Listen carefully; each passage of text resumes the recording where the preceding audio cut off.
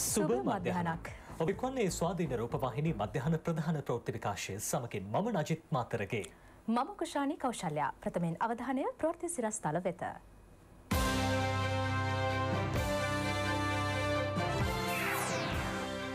කතානායකට විරෝධය පා ආණ්ඩු පක්ෂය සභාවෙන් නැකිටයයි.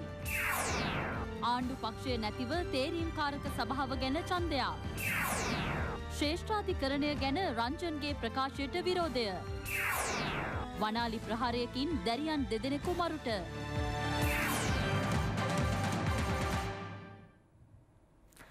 පාර්ලිමේන්තුව පෙරවරු දහයයි තිහට රැස්වූයේ කතානායක කරුචය සූරිය මහතාගේ ප්‍රධානත්වයෙන්. එහිදී පාර්ලිමේන්තු තේරීම් කාරක සභාවට මන්ත්‍රීවරුන් පත් කර ඇති බව කතානායකවරයා නිවේතනය කළා. ආණ්ඩු පක්ෂ නියෝජිතයන්ට වඩා විපක්ෂ නියෝජිත සංඛ්‍යාව වැඩිවීම හේතුවෙන් ඊට විරෝධය පල කරමින් ආණ්ඩු පක්ෂය සභාවෙන් පිටව ගියා.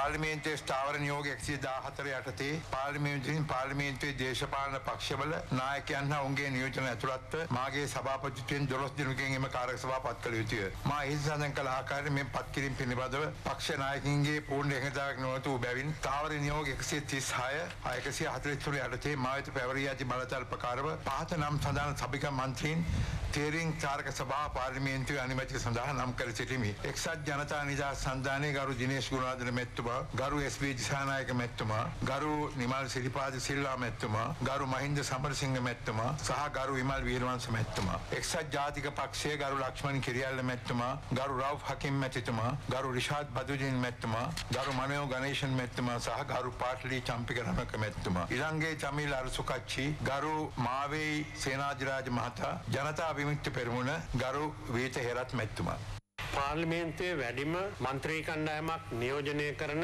පක්ෂය වන්නේ එක්සත් ජනතා නිදහස් සන්ධානයයි. අතිගරු ජනාධිපතිතුමා අඩුක්‍රම ව්‍යවස්ථාව යටතේ පත්කර ඇති අග්‍රාමාත්‍ය මහින්ද රාජපක්ෂ මැතිතුමා ප්‍රධාන රජය වන්නේ අපි නියෝජනය කරන මන්ත්‍රී කණ්ඩායමයි. ආණ්ඩුවක් හැටියට අපි වැඩ කරනවා.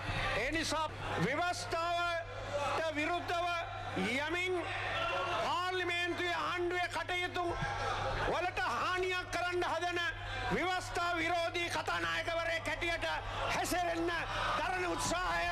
ප්‍රතික්ෂේප කරනවා. නිසා ඔබතුමා රජයට හිමි ව්‍යවස්ථාන කූලව අපට හිමි මන්ත්‍රී සංඛ්‍යාව නොදීම අපි ප්‍රතික්ෂේප කරනවා. ඔබතුමාගේ නිවේදනයට අපි එකඟ වෙන්නේ නෑ කියන ටික මම ඉතාමෝනය කමි මේ අනුව කතානායකතුමා පවත්වන්නේ එක්සත් ජාතික පක්ෂයේ පාර්ලිමේන්තු රැස්වීමක්. සජාතික පක්ෂයට යටත් වෙලා පාර්ලිමේන්තු ක්‍රමයට පයිංගහන කතානායකවරය කැටියට තමුන්නාන්සේ හැසිරෙන්නේ මේ අගමැතිවරයෙක් නෑ සභානායකවරයෙක් නෑ කියලා ඔබතුමා ප්‍රකාශයක් කළා තියෙනවා. මම යෝජිත ආණ්ඩුවට කියනවා පාර්ලිමේන්තුවේ බහුතරය පෙන්වන්න අපි සියල්ලම දෙනවා උන්ට. පාර්ලිමේන්තුවට බෑ රටේ ව්‍යවස්ථාදායකයට ජනාධිපතිවරයාට ආණ්ඩු කරන ව්‍යවස්ථාවෙන් තියෙන බලයට අභියෝග කරන්න. ඔබතුමා ව්‍යවස්ථාදායකට අභියෝග කරමින් මේ පාර්ලිමේන්තුව පවත්තගෙන යාම සම්පූර්ණ නීති විරෝධී කියන ටික අපි මේ වෙලාවෙදී සදහර අරුණකුමාර නානොරු තනිකච්චියාහතන් තෙරවිසේ මම තනිපක්ෂයක් ලෙසයි පාර්ලිමේන්තුවට ඇවිත් තියෙන්නේ. ස්ථාවර නියෝග මත මගේ පක්ෂයට පාර්ලිමේන්තු කාර්ක සභාවේ ඉඩක් ලබා දී යුතුයි. මේ තේරීම් කාරක සභාව පිළිබඳව යම් ප්‍රශ්නයක් තිබේ නම් මේ පාර්ලිමේන්තුවට තමයි ඒ තීන්දුව ලබා ගැනීමේ අයිතිය තිබෙන්නේ. ඒ නිසා මේ පාර්ලිමේන්තුවේ තේරීම් කාරක සභාව සඳහා ඡන්දයක් ලබා දෙන්න කියලා ඔබතුමාගෙන් මම ඉල්ලා හිටියා. කරපු එක්සත් ජාතික පක්ෂයේ විපක්ෂ සංවිධායක අනුරු දිසානායක මැතිතුමා කියපු කරුණු අනුව තමුන්නාන්සේ කියන්නේ මේ පාර්ලිමේන්තුවේ මේ පාර්ලිමේන්තුවේ විශ්වාස භංග යෝජනාවක් සම්මත වෙලා නැහැ. ආණ්ඩු ක්‍රම ව්‍යවස්ථාවට අනුව ඇමති මණ්ඩලයේ අනුමැතිය ඇතුව ඇමතිවරයෙකුට මිසක් මේ පාර්ලිමේන්තුවට මුදල් පිළිබඳ යෝජනා හෝ පනත් ඉදිරිපත් කරන්න බලයක් නැහැ. ඒ බලයක් නැති മന്ത്രിවරුන්ට ඒ යෝජනා ගේන්න තමුන්වහන්සේ අවසර දීලා තියෙනවා. අද ඒ නිසා මේ පාර්ලිමේන්තුව මෙතෙක් ඉතිහාසයේ තිබිච්ච සම්ප්‍රදායට ස්ථාවර නියෝගයන්ට සහ විවස්ථාවන්ට පටහැනි විදියටයි මේ ගමන් කරන්නේ. තනිකරම මේ පාර්ලිමේන්තුව රනිල් වික්‍රමසිංහ ඒ හරහා එකතු වෙච්ච සහචර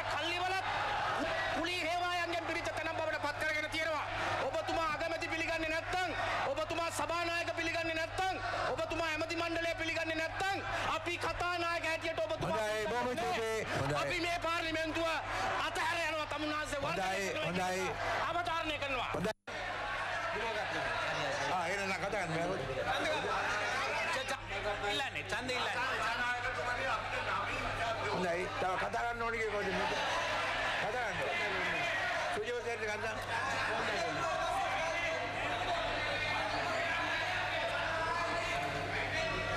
ගන්න මද නමින් ඡන්දය නමින් ඡන්දය හරි. We can you can use the බෙල්ල ගන්න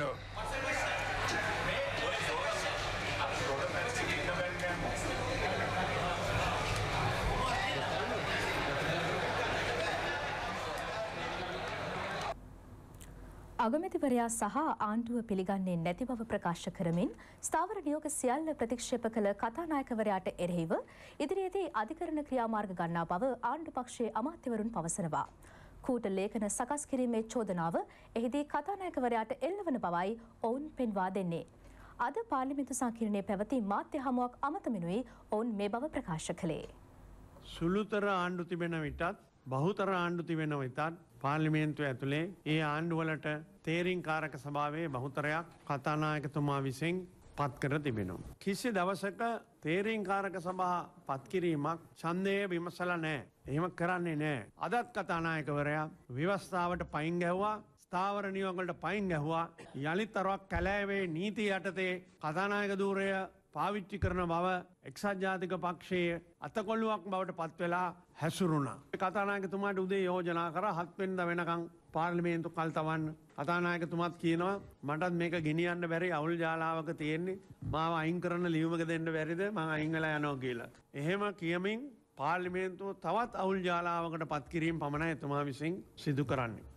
රජයක් වශයෙන් අපි අපේ වැඩ කටයුතු කරගෙන යනවා විශේෂයෙන් අපි කියන්නට ඕන රට අරාජික තත්ත්වයකට පත් කරන්නේ මේ කතානායකවරයාගේ මේ දඩබ්බර ක්‍රියා කලා. එනිසා අපි එතුමාගෙන් නැවතත් ඉල්ලා සිටිනවා. ස්වාධීනව කටයුතු කරන්න කියලා බහුතරය පෙන්වන්නට ඕනනම් නියම ආකාරයට තේරීම් කාරක සභාව පත් කරලා ඒ අනුව බිස්නස් කොමිටියක පත් කරලා ඊට පස්සේ නිසියාකාරයෙන් යෝජනාවක් ගෙනෙන්ඩ විශ්වාස බංග ඒ විශ්වාස බංග යෝජනාවෙන් අපි රජයේ පරදුනොත් රජය ඉන්නේ නෑ රජයට ඉන්න බෑ. ඉතින් වෙන්න මෙතන මේ ක්‍රමවේදය දන්නේ නැතුව එදා විශේෂයෙන්ම අතිගරු ජනාධිපත්තුමාගේ ප්‍රධානත්වයෙන් පැවති පක්ෂනායක රැස්වීමේදී රවුක් හැකීම් මැතිතුමා කිව්වා අපි මේක සාමාන්‍ය ක්‍රමයට ගෙන් නැතුව ෂෝට් කට් එකක් ගත්තේ පාර්ලිමේන්තුව කල් තබයි කියන බයට කියලා. ඉතින් බලන්න එතුමාලම පිළිගත්තන වැරදි ක්‍රමවේදයකට ඔවුන් ඇවිල්ලා තියෙන කියලා ආය තව මොනවද සාක්ෂි. එක්සත් ජාතික පක්ෂය ඇතුළු කරුජයසූරිය මහත්තයාට වෙනස් කරගන්න ඕන නම් තියෙන්නේ තමන්ගේ බහුතරය නියමාකාරයෙන් නීතියානුකූල ආකාරයෙන් පෙන්වන එක. මේ රට ඒ විදේශ බලවේගවලට උවමනා කරන ආකාරයේ ගැටුම්කාරී වාතාවරණයකට ඇදගෙන යන්නයි කතානායකවරයා ඇතුළු රනිල් අනුර සුමන්තිරන් කල්ලිය මේ උත්සාහ කරන්නේ. අපි උපරිම උත්සාහ කළා දිනේෂ් ගුණවර්ධන මැතිතුමන් ප්‍රධාන සභානායකතුමන් ප්‍රධාන ආණ්ඩු පක්ෂයේ සංවිධායකතුමන් ඒ වගේ මේම කමිටුව නියෝජනය කරපු අපි සියලුම දෙනාම ඒ කාර්ක සභාව පක්ෂ නායක හමුව මුණ ගැහිච්ච වෙලාවේ අද පෙරවරුවේ මේක ඊටාම සාමකාමීව හා සම්මුතිකාමීව එකඟතාවයකට එන්නේ. නමුත් කතානායකවරයා හිටපු අගමැතිවරයාගේ රනිල් අනුරහා සුමන්තිරන් කල්ලියේ මතය හැර වෙන මතයක් දරන්න කිසිම සූදානමක් තිබෙන්නේ නැහැ. ඒ නිසා තමයි විදායකය හා විවස්ථාදායකය අතර ගැටුමක් අර්බුදයක් නිර්මාණය කරන්න කතානායකවරයා මූලික කොට දරන ප්‍රයත්නය ප්‍රතික්ෂේප කරලා ඒ උත්සාහයට සහභාගි වෙන්නේ නැතුව දායක වෙන්නේ නැතුව ඔහු අගමැති පිළිගන්නේ නැත්නම් ඔහු ඇමති මණ්ඩලය පිළිගන්නේ නැත්නම් අපි කතානායක හැටියට ඔහු පිළිගන්නේ නැහැ කියන ස්ථාවරේ ඉඳලා ඔහුගේ ක්‍රියාකාරකම් සියල්ල නීති විරෝධී නීත්‍යානුකූල වන්නේ නැහැ කියන පදනමේ ඉඳලා අපි සභාවගෙන් එළියට ආවේ. විශේෂයෙන්ම අද කරු ජයසූරිය පාර්ලිමේන්තු මන්ත්‍රීතුමා. ඔහුට අපි මින් පසුව කතානායකවරයා කියලා ආමන්ත්‍රණය කරන්නේ නෑ. තු ගම්පා දිස්ත්‍රික් පාර්ලිමේන්තු මන්ත්‍රී කරු ජයසූරිය මන්ත්‍රීතුමා විසින් අද තේරීම් කාරක සභාව සඳහා ඡන්දයක් විමසුවා. මේ මේ කරු ජයසූරියට හිතිච්ච වෙලාවට පාර්ලිමේන්තුවේ බහුතරය හොයන්නයි කරු ජයසූරියට වාසි අවාසි වෙලාවට බහුතරය නොසෙයි ඉන්නයි මොකද්ද මේ මේ දෙබිඩි පිළවත? ඔහුව මං හිතන්නේ ඇස්වාට්ටු ගෙල්ලා ඇස් පෙන්වන්න ඕන. අග්‍රාමාත්‍ය මහින්ද රාජපක්ෂ මැතිතුමා නව රජයක් පිහිටවුවට පස්සේ එක පාරට කරුගේ පෙවුණු දකුණු හැ නොපෙනී ගියා. අන්න දැන් කරුගේ පේන වං හැ. සිරිකොතේ කතානායකවරයා බවට පරිවර්තනය වෙලා තියෙනවා. තේරීම් කාරක සභාව කතානායකවරයාගේ සභාපතිත්වයෙන් සහ දේශපාලන පක්ෂවල නායකයන් හෝ ඔවුන්ගේ නියෝජිතයන්ට ඇතුළුව පාර්ලිමේන්තුව විසින් එක් සභාවාරයක් ආරම්භයේදී නම් කළ යුතු සමාජික මන්ත්‍රීවරයන් 12 දෙනෙකුගෙන් සමන් විය යුතුය. දැන් මේ 12 224න් බෙදුවොත් මන්ත්‍රී දුර 19ට එකයි සමාජිකත්වය ලැබෙන්නේ. එහෙමනම් ජවිපිට ලැබෙන්නත් බෑ. දෙමළ ජාතික සන්ධානයට ලැබෙන්නත් බෑ. දෙකම එකතු කරලා ඕන එකක් දෙන්න පුළුවන්. හැබැයි පක්ෂ නායකයන්ට ලබා දිය යුතුයි කියලා මෙතන තීරණය කළා තියෙනවා. එහෙමනම් අපත් සමග සහයෝගයෙන් කටයුතු කරන ඩග්ලස් දේවානන්ද ඇමතුමාත් ස්වාධීන පක්ෂික නායකයෙක්. මේ ස්ථාවර නියෝගය අනුව කටයුතු කළා නම් අවම වශයෙන් අපේ පහට අමතරව ඩග්ලස් දේවානන්ද මැතිතුමාට ලබා දිය යුතු ඒ නිසාම කතානායකතුමා නැවත වතාවත් ස්ථාවර නියෝග අමුමමුවේ උල්ලංඝනය කරමින්ද සාධාරණත්වයේ න්‍යාය අමුමමුවේ උල්ලංඝනය කරමින්ද අත්ත නෝමතික ආකාරයෙන් කටයුතු කරලා තිබෙනවා. මේ අතර ලබන හත්වනදා ශ්‍රේෂ්ඨාධිකරණය ලබා දෙන තීන්දුව සම්බන්ධයෙන් එක්සත් ජාතික පක්ෂයේ පාර්ලිමේන්තු මන්ත්‍රී රංජන් රාමනායක මහතා පෞද්ගලික රූපවාහිනී නාලිකාවක පැවැති සංවාදයකට එක්වෙමින් කළ ප්‍රකාශය සම්බන්ධයෙන් විවිධ මත පලවනවා. ඒ ත්‍රීබෙන්ච් මේ අධිකරණයෙන් අවාරණයෝගයක් දාල් තියෙනවා. දැන් ආරංචියක් තියෙනවා. මේ මේ ඒක පහට යනවා. පහට ගියත් තුනක් මෙහෙට දෙකක් එහෙට හින්දා. තීන්දුව වෙනසක් නොවේවීයාය කියා. ඊය පෙරේදා ශයන් සිංහල සේවසිංහ මන්තුමත් එක්ක වන්චොට් ලන්ඩන් රාමණය ගීල කියනවා නඩුකාරයෝ පස්තරින්ගෙන් ඒවලට දෙන්නෙක් ඉන්නවා. ඒ ගැන වහා පරීක්ෂණ කරන්න. මේක බරපතල ප්‍රකාශ. ඒව නිකන් ගිහිල්ලා උසාවිය ගෞරවයට පත් කරුවා කියන පරීක්ෂණ නෙමෙයි. ඇත්තටම කොහොමද රංජන් මේක දැනගත්තේ? රංජන්ට කවුද මේක කිව්වේ? ඇත්තටම ඒ විනිශ්චයකාරතුමන්ලා එක්ක මොකක් හරි සම්බන්ධතාවයක් එක්සත් ජාතික පක්ෂයට තියනවාද? රංජන් කියන විදිහට. බරපතල ප්‍රකාශයක්. රංජන රාමනායක මහතා කියලා තියෙනවා තුන් දෙනෙක් අපට පක්ෂ වෙනවා දෙන්නෙක් අනිත් පැත්තට යනවා. මේ මොනවද මේ කියන්නේ? දැනටම තීන්දුව ප්‍රකාශයට පත් කරලා ඉවරද කාත් එක්ක හරි? තීන්දුව කරන බලපෑමක් නෙමෙයිද මේ? එක්සත් ජාතික පක්ෂය මේ විදිහේ තැති ගැනීම අධිකරණයට අභියෝග කරන සුළු අධිකරණයේ ස්වාධීනතාවට අභියෝග කරන තුළු ප්‍රකාශ කිරීම අතිශයින්ම හෙලා දකිනවා. මං හිතනවා එතුමා රංගපාන කෙනෙක්නේ. ඉතින් රංගපෑම තාම මේ පාර්ලිමේන්තුවේ තානුක්‍රම ව්‍යවස්ථාවේ රංගපාන. ඉතින් ඔහු සල්ලි වලටනේ රංගපාන්නේ. ඒ සල්ලි වලට රංගපාලා අපි සල්ලි දීලා ඔහු බලනවා.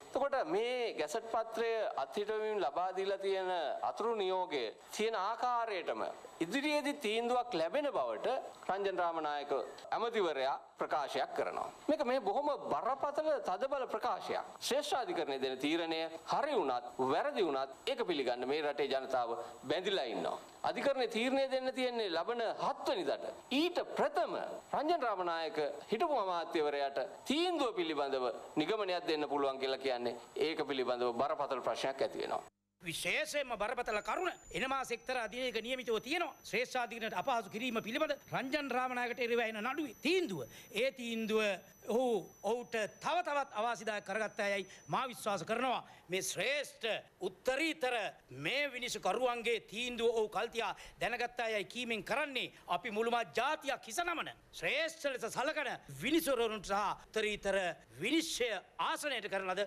අපහාසයක් අපිට දකින්නේ මේ විහිළු කරුවා මේ විහිළු නළුවා මේ අධිකරණ පද්ධතිය විසින් ගනු ලබන තීරණ පිළිබඳව හෝ. විනිසුරුවරයන් හැසිරෙන විදිව පිළිබඳව ප්‍රකාශ කරන්න පුළුවන් කිසිම සමතෙක් නෑ. මොකද හේතුව ස්වාධීන අධිකරණයක් තියෙන් රටක යම් කිසි පුද්ගලයෙක් කියනවනම් මෙන්න මේ විදියට මේ තීන්දුව දෙන්න කියලා ඔහු අනියමින් කියන්නේ නම් මේ අධිකරණයට කිසියම් බලපෑමක් තුළ ක්‍රියාත්මක වෙනවා කියලා. මංගිතන් ඒක තමයි අධිකරණය කරන්න පුළුවන් ප්‍රබලම අපහසේ. විනිශ්චකාරවරුන්ගේ මතය පිළිබඳව ඔහුට එවැනි ප්‍රකාශයක් කරන්න පුළුවන්ද. කියනක පිළිබඳව විමර්ශනයක් කරලා ඔහු මේ අධිකරණය ස්වාධීනත්වයට විරුද්ධව කරපු ප්‍රකාශයට විරුද්ධව අවශ්‍ය පේවර ගණ්ඩ කියලා අපි මේ අවස්ථාවේ ඉල්ලා සිටිනවා. වනාලි ප්‍රහාරයකින් දැරියන් දෙදෙනෙකු මිය කියා. මහියංගන මාපාකඩ වැව රෝහණ ගම්මානයේ දැරියන් දෙදෙනෙකුයි මෙම අවාසනාවන්ත සිද්ධියට මුහුණ පෑවේ. මහියංගන මාපාකඩ වැව රෝහණ ගම්මානයේ නිවසකට වනාලින් පහරදීමට පැමිණ ඇත්තේ ඊයේ රාත්‍රී දහයයි තිහට පමණ. වනාලින්ගෙන් බේරීම සඳහා මෙම නිවසේ සිටි අටහැවරිදි හා එකොළොස් හැවරිදි දැරියන් දෙදෙනා අසල නිවසකට දිවකුස් තිබෙනවා. එසේ දිවයාමේදී ඔවුන් දෙදෙනා වනාලි ප්‍රහාරයට ලක්ව මියගියේ. එකොළොස් හැවරිදි දැරියගේ මව කුඩා කලදීම ඇය හැරගොස් ඇති අතර ඇයගේ පියා විදෙස්ගතව සිටිනවා. ඇය ජීවත්ව ඇත්තේ ඇයගේ ලොකු අම්මාගේ නිවසෙයි. අනතුරින් මියගිය අනෙක් දැරිය ලොකු අම්මාගේ දියණියයි. මාපාකඩ වැව රෝහණ දඹකොල්ල පරගම්මන ආදී ගම්මාන රැසක වනාලි තර්ජන පවතින බවත් මේ වන විට නිවාස තිස් එකක් වනාලි ප්‍රහාරයට ලක්ව ඇති බවත් ප්‍රදේශවාසීන් පවසනවා. වනාලි ප්‍රහාරයට විරෝධය පළ කරමින් මහියංගන බදුල්ල මාර්ගය විස්සේ කනුව ප්‍රදේශයෙන් හරස් කරමින් ගම්වාසීන් විරෝධතාවක් පැවැත්වූවා. කඩිනමින් මහමැතිවරණයක් පවත්වන ලෙස ඉල්ලා සිටිමින් කොළඹ ව්‍යාපාරික එකමුතුව ජනතා අදහස් ලබා ගැනීමට කටයුතු කළා. කොළඹ කොටුව ප්‍රදේශයේදී ජනතා අත්සන් ලක්ෂ දෙකක් ලබා ගැනීම ඊයේ ආරම්භ කෙරුණා. මෙසේ ලබාගන්නා අත්සන් අඩංගු ඉල්ලීම් ප්‍රධාන පක්ෂ නායකයින්ට සහ ජනාධිපතිතුමාට ලබාදීමට නීමිතයි. කඩිනමින් මැතිවරණයක් පවත්වන ලෙස ඉල්ලා සිටීම මෙම අත්සන් ලබා ගැනීමේ අරමුණයි.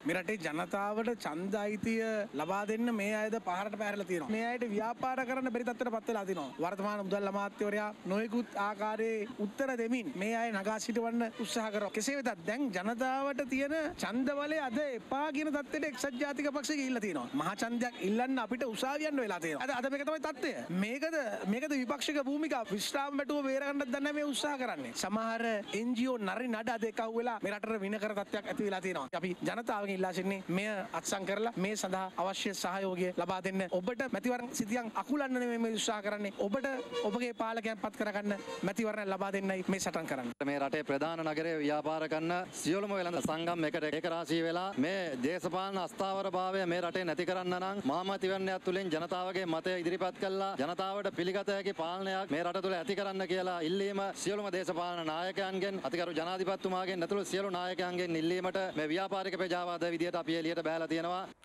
සිංහ ශ්‍රී ලංකා සමාගම අටවන වරටත් සංවිධාන කළ සිංහ ලයිෆ් ස්ටයිල් ෆියස්ටා වෙළඳ ප්‍රදර්ශනය හා සැනකෙලිය අද පෙරවරුවේ බණ්ඩාරනායක ජාත්‍යන්තර සම්මන්ත්‍රණ ශාලාවේදී ආරම්භ වුණා. අද සිට ලබන විසි පස්වනදා දක්වා උදැසන දහයේ සිට රාත්‍රී නවය දක්වා ප්‍රදර්ශනය පැවැත්වෙනවා. සිංහ ශ්‍රී ලංකා සමාගමේ සභහපති මොහන් පණ්ටිතගේ සම සභහපති දම්මික පෙරේරා ප්‍රධාන විදායක නිලධහරි මහේෂ් විජයවර්ධන යන මහත්තුරුන්ගේ මූලිකත්වයෙනුයි ප්‍රදර්ශනය විවෘත කෙරුණේ. ලෝකයේ විශිෂ්ටතම වෙළඳනාම පණහකට අධික බාණ්ඩ රැසක් ප්‍රදර්ශනයට ඇතුළත්ව තිබෙනවා. සයට පණහක වට්ටම් සහිතව බාණ්ඩ මිලදී ගැනීමේ හැකියාවද මෙම ප්‍රදර්ශනයේ පවතින බවයි සංවිධායකයින් පවසන්නේ. ලබන වසරේ නවතාක්ෂණයෙන් යුතුව වෙළඳපලට පිවිසීමට නියමිත බහන්ඩ රැසක්ද ප්‍රදර්ශනයට ඇතුළත්. උත්සව සමයට අවශ්‍ය රෙදිපිඩි හා අනිකුත් බහන්ඩ රැසක් සහිත වෙළඳකුටි එකසිය පණහකට අධික ප්‍රමාණයක් ප්‍රදර්ශනයට ඇතුළත්ව තිබෙනවා. අපිත් එක්ක එකතු වෙලා මෙම සුවිශාල අත්දැකීම ලබා ගන්න ඒ වගේම විනෝදාස්වාදය සඳහා විශේෂ වැඩපිළිවෙළ රසක් තියෙනවා සංගීත සංදර්ශන විලාසිතා දැක්වීමවල් කුඩා ළමුන් සඳහා ක්‍රීඩාවන් පවුලත් සෑම දිනාටම පැමිණ විශේෂයෙන්ම විනෝද වන්න පුළුවන් ඒ වගේම අවශ්‍ය දේ ඉතාමත් සුවිශාල මිලකට ලාභයකට ලබා ගන්න පුළුවන්. දැන් තවත් පුවත් කිහිපයක් කෙටියෙන්. නීති විරෝධීව මෙරටට රැගෙන ආ රන්පාණ්ඩ තොගයක් කඩුනායක ගුවන් තොටුපලේදී අත්තඩංකොට ගෙන තිබෙනවා. එහි බර කිලෝ දෙක හමාරක්. වටිනාකම රුපියල් ලක්ෂ එකසිය හතලිස් දෙකක් පමණ වන බවයි රේගුමා දෙප්‍රකාශක සුනිල් ජරත්න මහතා පවසන්නේ.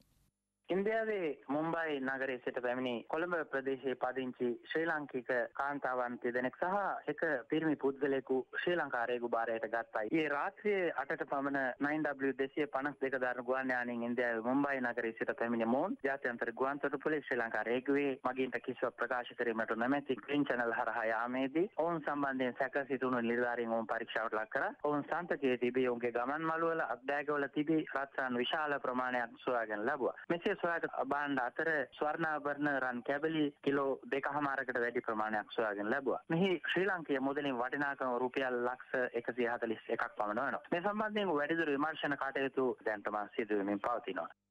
මේ අතර කසල තේ කුඩු කර ඩයි කලවම් කරන ලද තේකුඩු කිලෝග්‍රෑම් දොළොස් දහසක් අතටංකොට ගෙන තිබෙනවා. මෙම තේකුඩු පටවාගත් කන්ටේනර් රථය කොටදනියාව පොලිසිය මගෙනුයි අතටංකොට ගැනුණේ. ඒ ගම්පොල සිට කොළඹ බලා පැමිණෙමින් සිටියදී. සැකකරුවන් දෙදෙනෙකුද අතටංගුවට ගෙන තිබෙනවා. එ සමගින් අපගේ මධ්‍යහන ප්‍රධාන ප්‍රෘක්ති විකාශය අවසන් වනවා. පසර දෙකේ සිට අපගේ පැන් පෑපොත් විකාශය බලාපොරොත්තු වන්න. සුබ දවසක්. www.ipnnews.lk